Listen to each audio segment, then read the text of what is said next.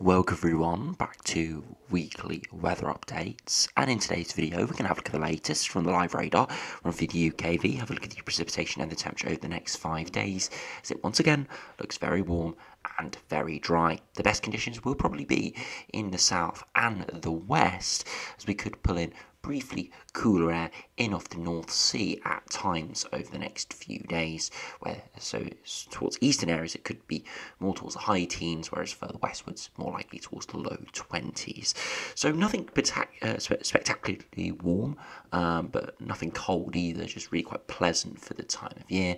And as we see on the GFS, GM, ECMWF, and the ensembles, this is looking likely to uh, continue to the to, to, the end of May. Uh, as we head into June, could continue to the first few days, but we are seeing signs perhaps at day 10 from the three main models today that we could see a dip in the upper air temperatures. So the upper air temperatures over the next sort of week or so, we're going to be around that 5 to 10 degree point in most areas, and using the normal sort of plus 15 degrees for surface conditions, we're looking at highs of around 20 to 25 degrees on most days, sort of in that region for the high temperature. But as we do head, as I said, into the first sort of five to ten days of June, there is the possibility that the high pressure moves a little bit further out into the Atlantic and pulls a northerly or northeasterly wind in. Not doing anything majorly on the precipitation front, but um, would drag in perhaps some more cloud and some colder air. It would dip those upper air temperatures back towards freezing, uh, which would give temperatures at the surface more around the mid teens or even low teens. So, yeah, would be quite a change but it is still at the day 10 point and still quite uncertain. So we'll explore that more in the second half of the video. So do remember, if you enjoy my videos, make sure you like and subscribe. And remember to follow me on Twitter as well, the link's in the description. So do start on the live radar once again another stunning day, widely sunny and fairly warm. A few patchy showers across northern England, but as said, most other areas are bone dry.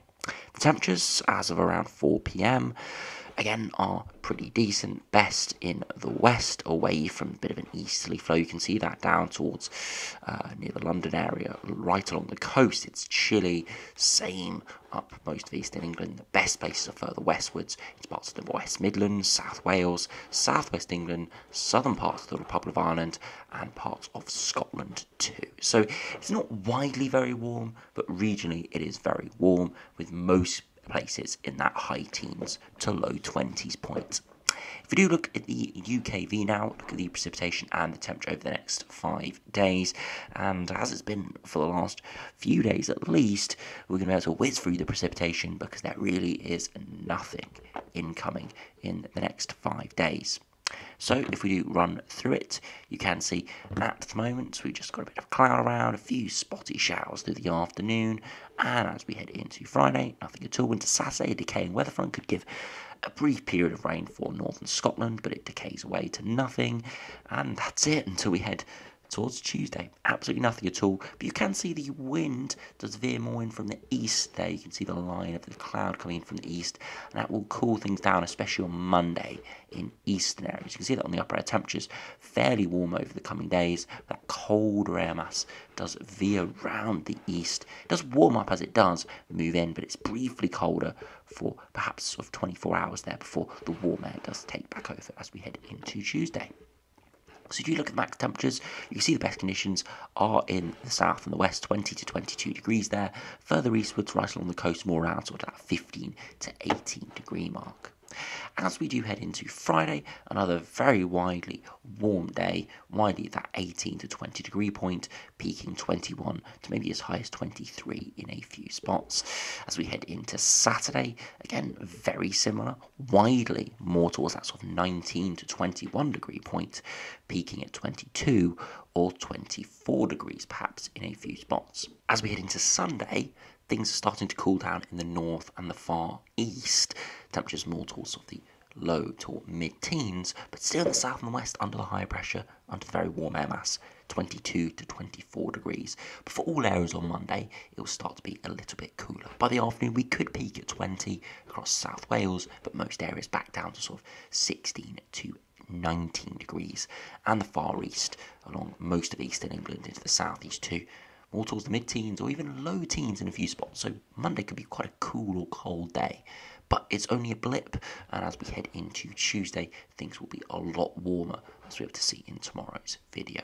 So if we do move over to the GFS now and have a look at the uh, pressure charts over the next few weeks, you can see the high pressure is firmly in control, and you see that brief easterly wind through Sunday into Monday that could cool things down in the east, as we saw in the UKV. But again, nothing too spectacular, and the high pressure settles down and drags up some very warm air from Europe as we head into the final days of May and start of June. And again, it doesn't look too bad at all. But you can start to see the high pressure there move up towards Greenland and cold air exit the Arctic. Very little cold air remains in the Arctic, but it's still cold enough to give a chill to the air. And you can see it could spread towards the UK by early June. So it goes from very warm to very cold in the space of a couple of days, and those upper air temperatures dropping below freezing for perhaps 24 hours before it does warm up again as the high pressure does settle back in. So it is a briefly colder period. Uh, again, it's not sustained, uh, it's a few days perhaps, and it could break the cycle of high pressure, but GFS does actually have high pressure building back in here.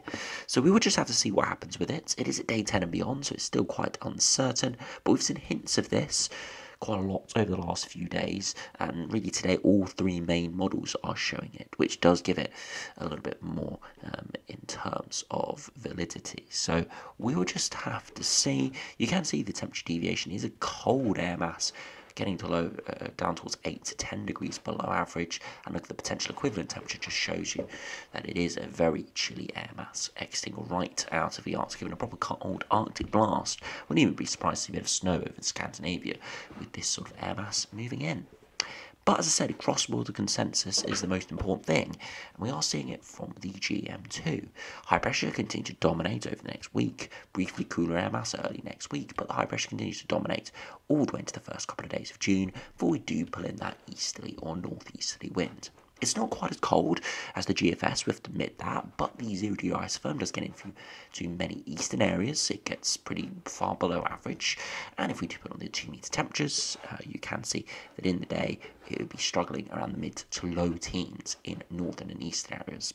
So there's still the south and the west still might be pretty decent, but for a lot of the country, it would be a lot cooler out there and uh, yeah, not uh, as great as what we're going to see in the first of seven or seven, eight days uh, coming up. Again, it is longer term, it's day 10, uncertain, so we will just have to see if it does come off. If we compare it to the ECM WF, again, high pressure is completely dominating at the moment.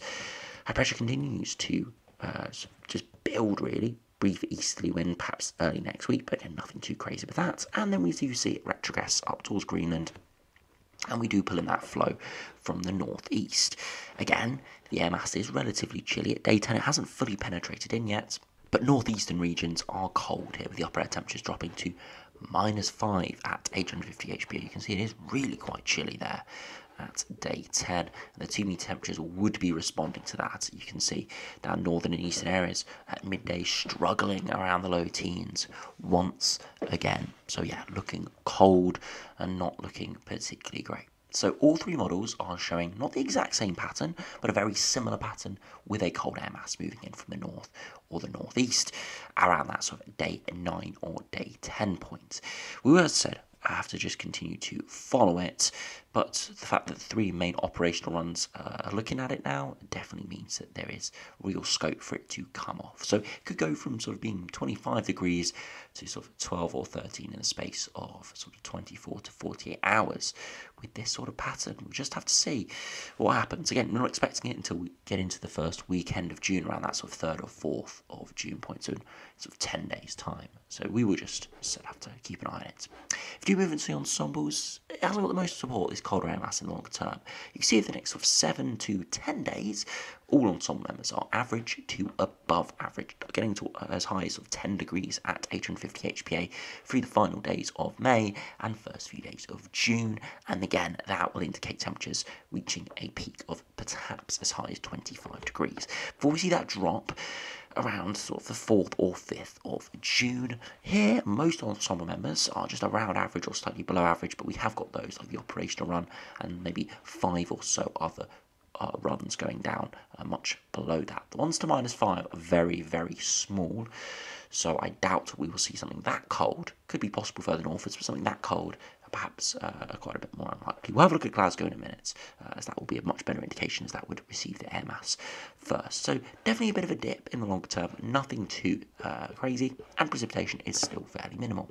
If we look at the two meter temperatures, you can see really warm over the next sort of five, six days, widely high teens or touching 20 degrees. We could see quite a big peak perhaps around the final day of May into early June, where it could peak uh, in excess perhaps of 25 degrees suggested from the GFS operational run here, as high as maybe 28 degrees there in London from the GFS operational run, before it does dip the following day to 14 or 15 degrees. So a 15 degree temperature drop there um, from the GFS operational run. That's just something to keep an eye on. And you can see all the way to the 8th of June, down towards 11 or 12 degrees in the day. And that's when that air mass does peak uh, down uh, sort of towards freezing.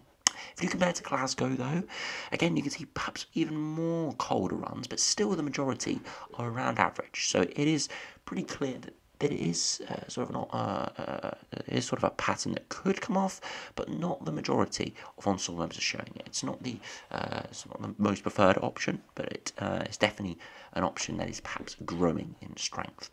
If you finish by looking at the ECMWF operational run and its ensembles, you can see generally warm over the next week to 10 days. As said, those upper temperatures peaking late May, early June. We do see a big drop off around that day 10 point. Perhaps more of a drop off than the GFS was showing especially for Glasgow here. Um, you can see it dropping more below average here, whereas the GFS kept it more around average, but just showing it could be quite chilly in Scotland, and comparing it to London, again, very warm towards the end of the month and start of June, and again, seeing a dip down towards average, and even more going below average here. So ECMWF, perhaps slightly more bullish on it, but still, there are quite a few runs keeping us warm out there, uh, and again, precipitation front, we will just have to keep a close eye on that. Some precipitation spikes starting to appear into early June, but at the moment, we're not expecting anything too crazy as there isn't a lot of consistency with this, and they are quite infrequent and all over the place. Uh, and we will just, as said, have to keep a close eye on it. So I said, the next sort of 7 to 10 days is looking very warm and very dry to end meteorological spring. Bank holidays upcoming weekend is going to be stunning. Monday perhaps could be slightly chillier, but it still will be bright uh, and still would be warm in the west um, before it does recover widely on Tuesday for eastern areas. But as we do head into the first couple of days of June, things could deteriorate a little bit with those upper air temperatures dropping to below average perhaps. A lot of uncertainty with it, but three operational ones all showing it today, so we will just, uh, well, so it's increasing in probability.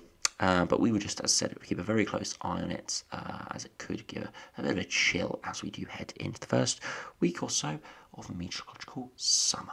But the outlook is nothing too bad at all. Very minimal precipitation, so it is, uh, yeah, can't get much better than this this time of year. So anyway, thanks for watching. Hope you enjoy your bank holiday weekend, and I'll see you again for another video soon.